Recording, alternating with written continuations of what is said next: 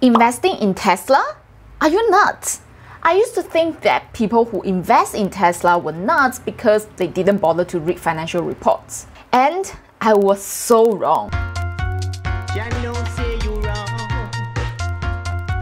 So in this video, I want to share with you some investment advice that I wish knowing earlier so that you don't have to miss out this opportunity to 10x your wealth like I did.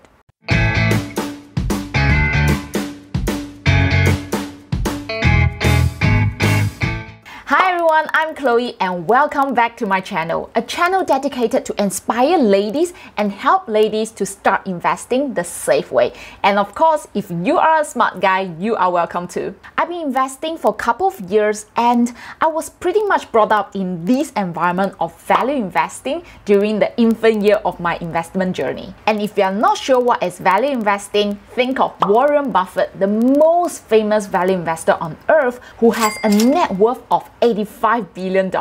So when it comes to value investing, it advocates looking into the company's performance such as earnings, cash flow, and whether does it have a sound business model. Most importantly, it really focuses on the consistency of the performance because Warren Buffett believes that when business does well, the stock price will eventually follow. So using value investing, I invested in companies like Facebook, Google, Microsoft, Amazon, which has very, very healthy profits. At the same time, it's still growing very, very healthy and stately. However, when people talk about stocks like Tesla, I will immediately shun away.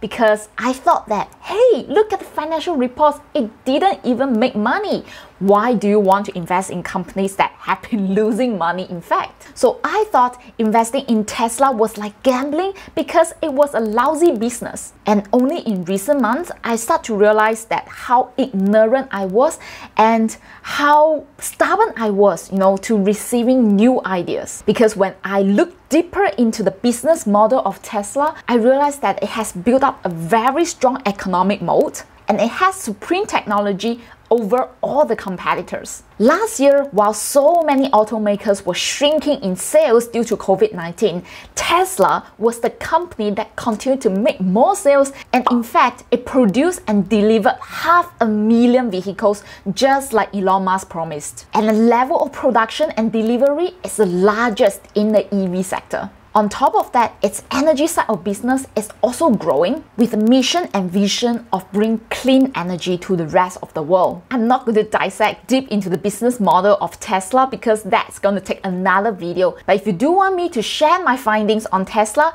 do comment Tesla below and I will do a video if you find it useful. My point is, I was being so ignorant and so stubborn to receiving new ideas investing in disruptive companies like Tesla and that's how I really miss up the 700% gain in one year. And now I realize that when it comes to investing, there is no best method.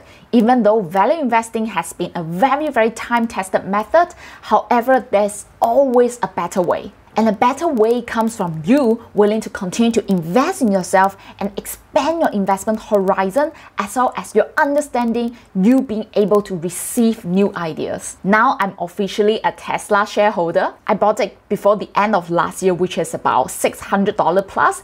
Is it expensive?